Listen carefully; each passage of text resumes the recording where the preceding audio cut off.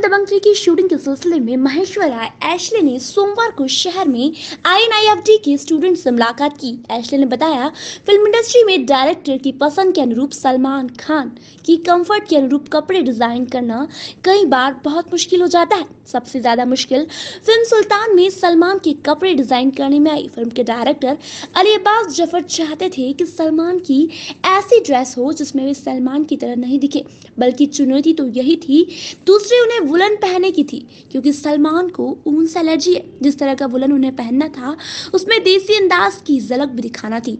साथ ही एलर्जी से सलमान परेशान भी ना हो।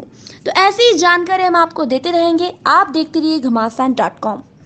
Subscribe our channel and press the bell icon for more updates.